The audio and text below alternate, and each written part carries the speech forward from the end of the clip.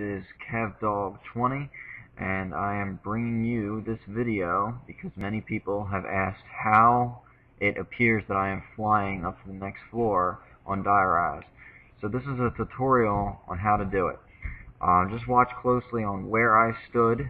Um, each elevator, just so everybody knows, each elevator is different. You have to stand at different points um, on the edge of the elevators with each one, and some are much harder than others. The easiest one that I found to do it on is the Remington elevator, which is the first elevator I jumped on.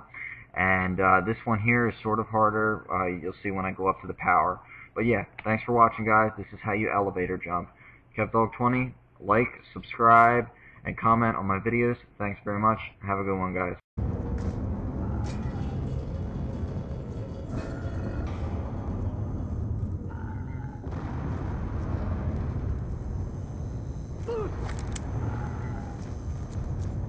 Ah, I think this place probably looks better in the dark.